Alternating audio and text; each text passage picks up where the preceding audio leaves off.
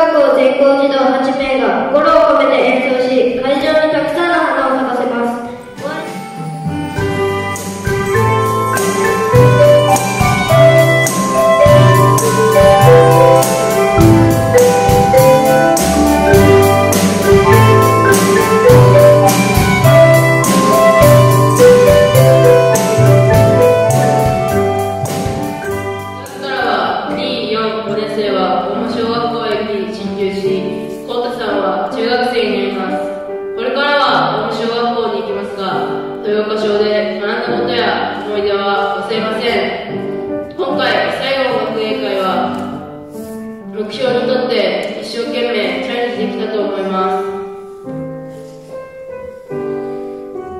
今年は去年と比べて練習している姿が多くなりました。豊岡賞の最後の行事は終わってしまったけれど最後まで僕たちのことを見守ってください。今日は本当にありがとうございました。